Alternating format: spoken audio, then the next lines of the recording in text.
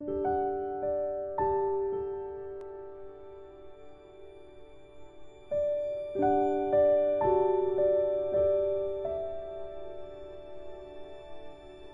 September 21, 2020, Buddhists across the world will celebrate the 70th birthday of the Venerable 8th Arjia Rinpoche, wishing him a happy and long life, and that he may remain in the world for many years to come to turn the Dharma wheel for all sentient beings. Arjia Rinpoche is the throne holder and abbot of Kumbum Monastery and the reincarnation of the father of Je Tsongkhapa, the founder of the Gelug lineage of Tibetan Buddhism. For generations and across time, Arjia Rinpoche has made great contributions to Kumbum Monastery and has been respected and very loved. The third Arjia Rinpoche was invited by Emperor Qianlong to live in Beijing for many years, and the fifth to seventh Arjia Rinpoche were also invited to Beijing by the Qing Emperors many times and rewarded with land and mansions. The sixth Arjia Rinpoche was invited to Japan to meet the Emperor of Japan. In this life, the eighth Arjia Rinpoche has survived the hardships of political turbulences in China including the Great Leap Forward and the Religious Reform from 1958 to 1962, and the Cultural Revolution from 1966 to 1976. In the 1980s, after the Cultural Revolution, Arjia Rinpoche was reinstated by the government and later raised to high level positions as a member of the Standing Committee of the Chinese People's Political Consultative Conference and the Vice President of the Buddhist Association of China. After witnessing cheating by the CCP at the Golden Urn ceremony in the selection of the 11th Panchen Lama, Arjia Rinpoche rejected the CCP's arrangement to be the tutor of the disputed new Panchen Lama and instead escaped China in 1988 to the United States.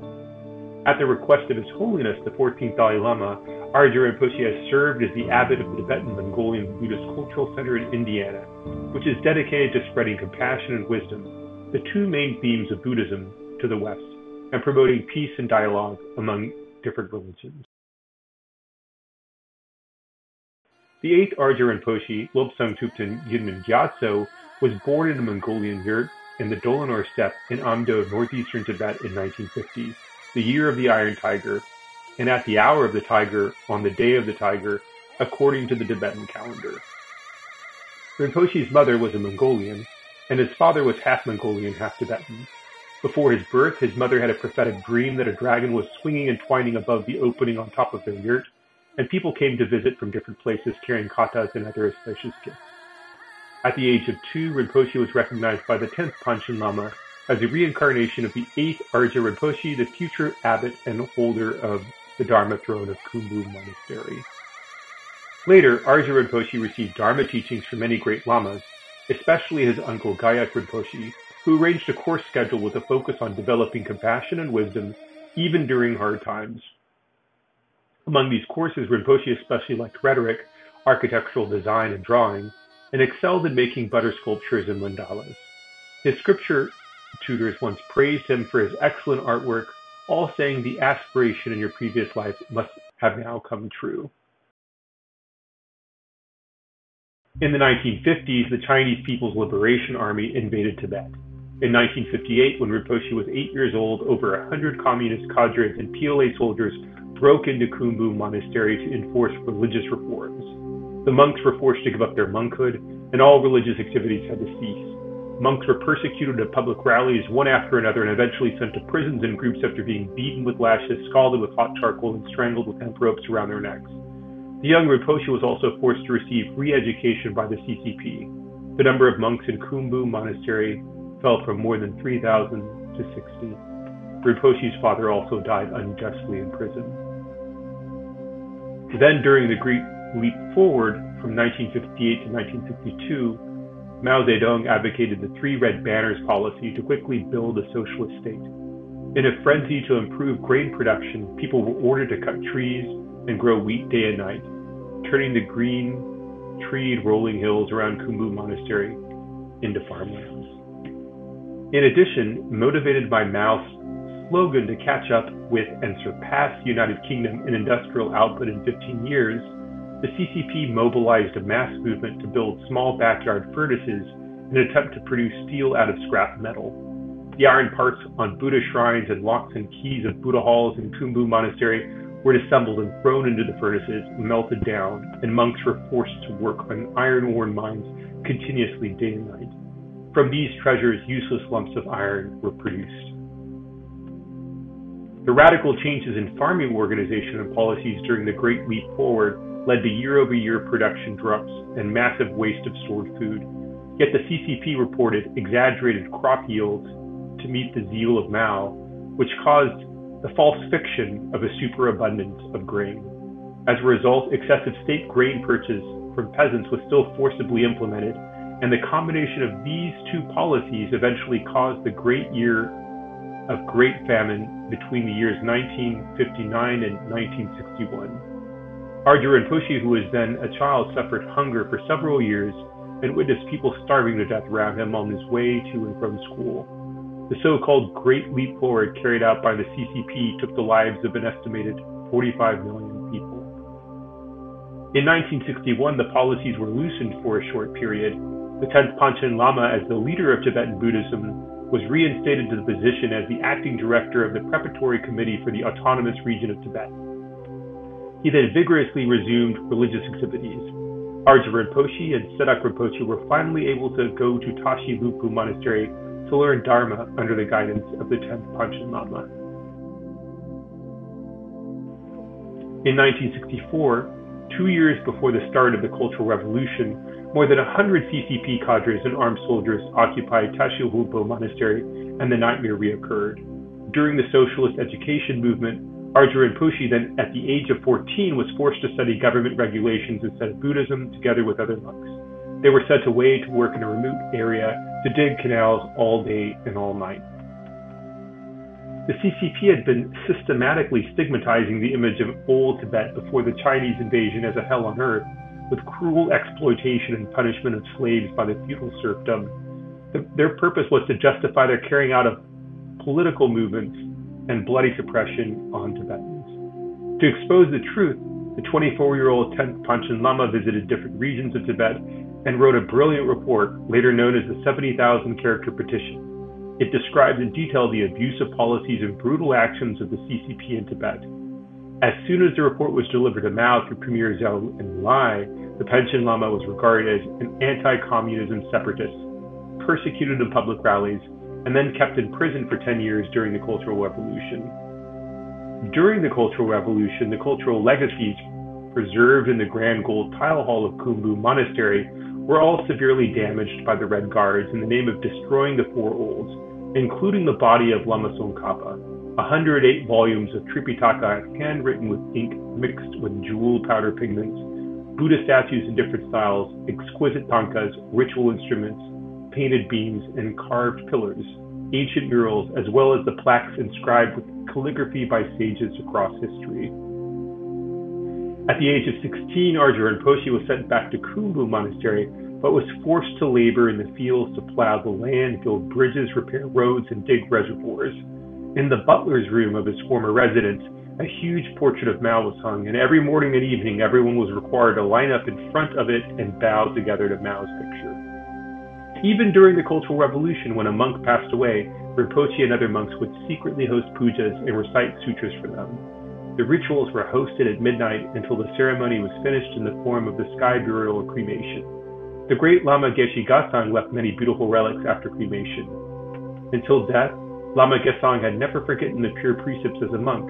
He told his last will to Arjia Rinpoche that in the future when pujas are hosted, please encourage the donor to offer vegetarian food to the monks of Kumbum so they will gradually get used to it.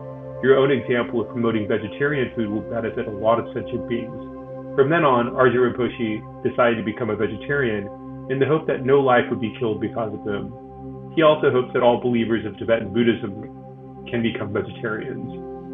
One day, the news of Mao Zedong's death came out of the loudspeakers.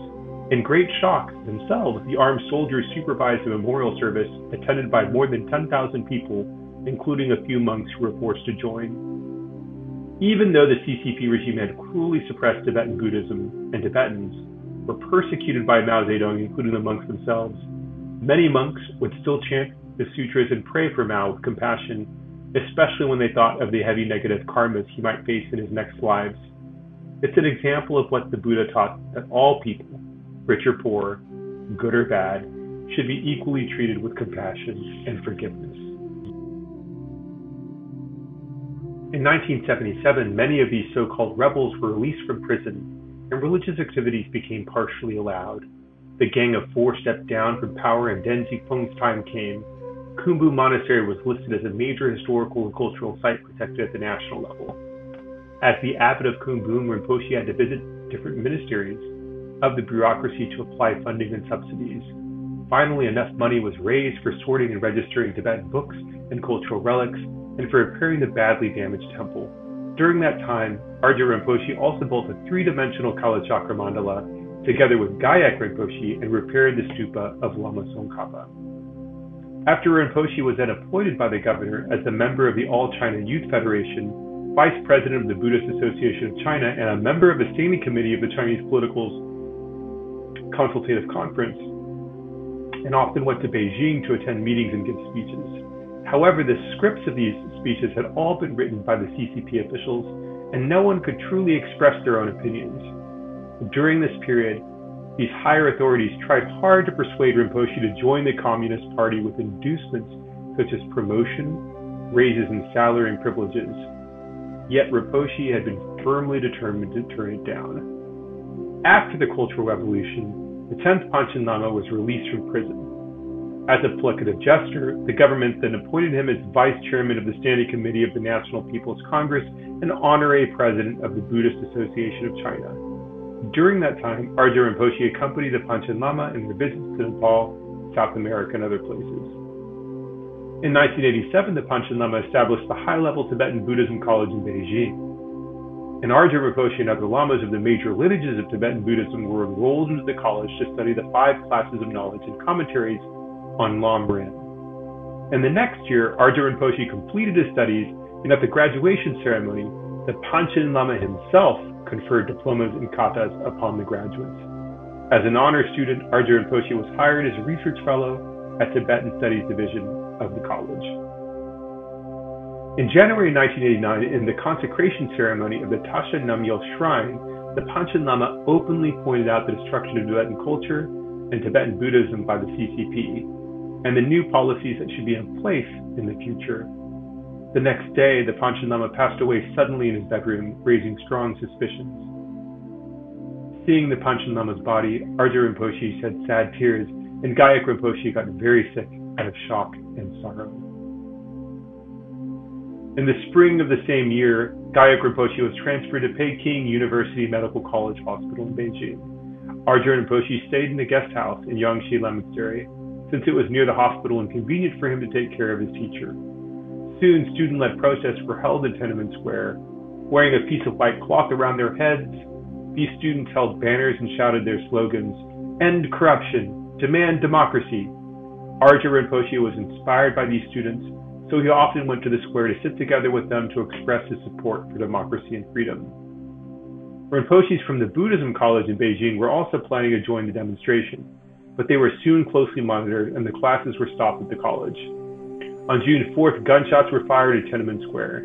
By the order of the CCP government, PLA troops and tanks cruelly suppressed the just demand of barehanded students, shocking the world. Soon after, Arjia Rinpoche's great teacher Gyayak Rinpoche passed away, Shortly, at, shortly, Rinpoche's mother also passed away. Though he had been through so many hardships and grievances in this life, at such great losses, Rinpoche couldn't restrain from crying with sorrow. When Arjia Rinpoche returned to Qinghai, he devoted himself to repairing the earthquake damages to Kumbum Monastery. By 1993, when Chairman Jiang Zemin, then the top leader of the CCP, visited Kumbum, the monastery had been restored to its original monastery and grandeur. Jiang highly praised the exquisite artwork of butter sculptures and wrote a calligraphy as Butter Sculpture Museum, which was later inscribed on the plaque above the museum. Since about the 15th century, it had become a tradition that the Dalai Lama and the Panchen Lama recognize each other's reincarnations. In May 1995, the 14th Dalai Lama announced that Gedun Choki Nyima was officially recognized as the 11th Panchen Lama. The Chinese government was outraged. By Jiang Zemin's order, the government announced that the 14th Dalai Lama's recognition of the reincarnation was invalid.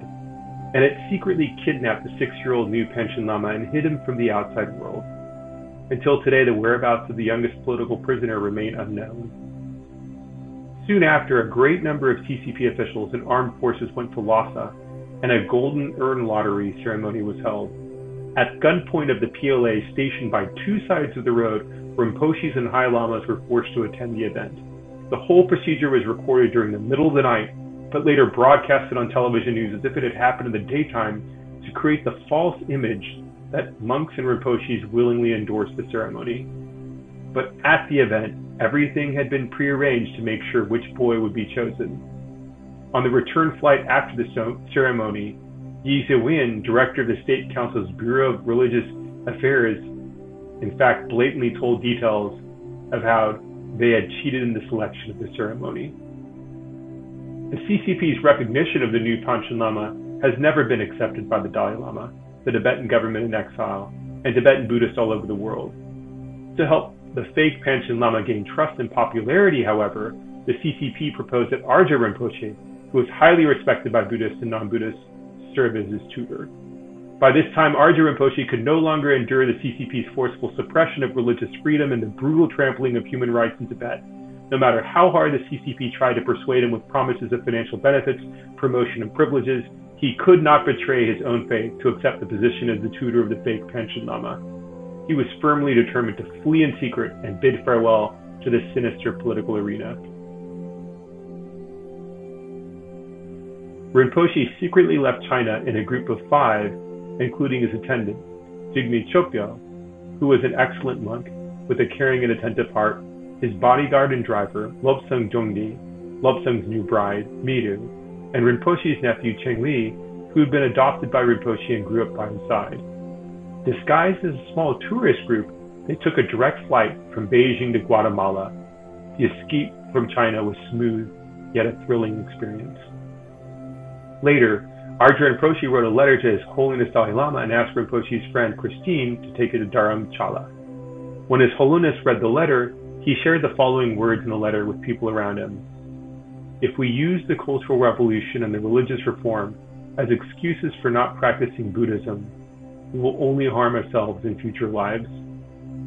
With the blessings and help from His Holiness, Arjia Rinpoche and his group gained U.S. visas to attend His Holiness's Dharma teachings in New York. His Holiness carefully asked Rinpoche about a lot of things, gave him a short oral transmission of Dharma, and then asked if he could write a letter to Jiang Zemin and express His Holiness's willingness to solve the Tibetan issue sooner. However, in Jiang's response letter, nothing was mentioned about the dialogue between China and Tibet, and there was only a poem addressed to Arjia Rinpoche pressing him to come back to China. It read, Dear Arjia Rinpoche, the three arts of Chair Kumbum Monastery shine like the full moon.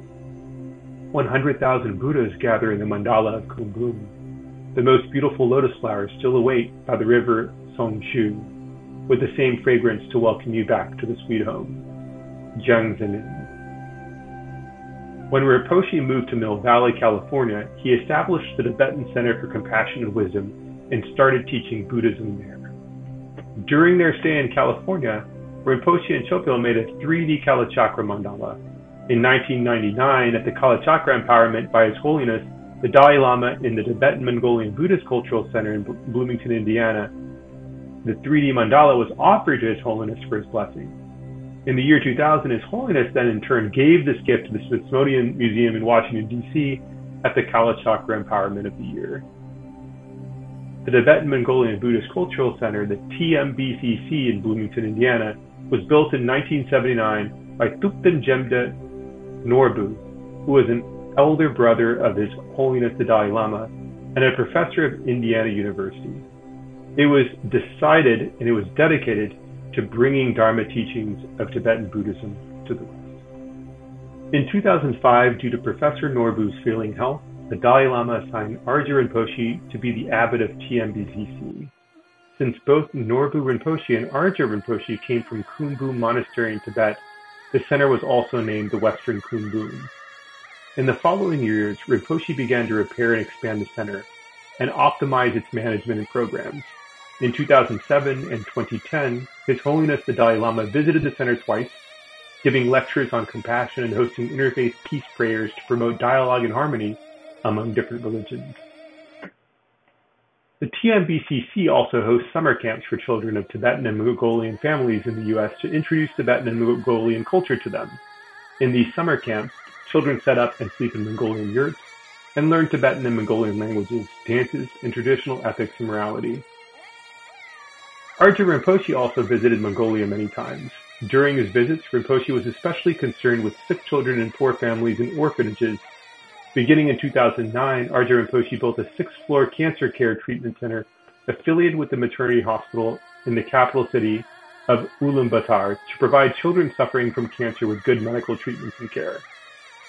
Rinpoche also established the Multi-Education Center in India for Tibetan refugees, sent books to children in Dharamshala, and supported tour groups of Tibetan monks from India traveling to the U.S. to raise funds for their monasteries by giving lectures teaching meditation, yoga, and making sand mandalas. He also raised funds to donate to the mayor of Sendai, Japan through the Japan Earthquake Relief Fund in the aftermath of the tsunami in 2011. Since last year, Arjia Rinpoche has been funding children from poor families in remote regions of Mongolia with full scholarships. Now, Arjia Rinpoche is also seeking help for building a senior activity center in Ulaanbaatar. Guided by Arjia Rinpoche's great vision and continuous efforts as the director, the TMBCC will continue to provide international aid and charity from their Bloomington-based center. The unique life experience of Arjia Rinpoche over the past 70 years has reflected the traditional cultures and customs of Tibetan and Mongolian people. It is also a life experience of struggles and arduous efforts to protect and preserve these precious religious and cultural heritages. Rinpoche often reminded himself of the words of his teacher, Gyayak Rinpoche Even if you're ill treated, don't treat others with hatred. Even if you're faced with a stressful situation, don't lose your cool and practice patience and compassion. Even if you're taken advantage of, don't care too much about your ego. Arjia Rinpoche strongly believes that compassion and wisdom are what make Tibetans and Mongolians especially strong and resilient. In this turbulent world, the equality of all beings and against harming all beings is valued by Buddhism, and this would contribute to promoting world peace. It's worth our efforts to uphold and promote these great values. May Arjia Rinpoche be blessed it's with extreme gratitude that so many in the Sangha around the world celebrate his birthday and may he live for many years longer to turn the Dharma wheel for the benefit of all beings.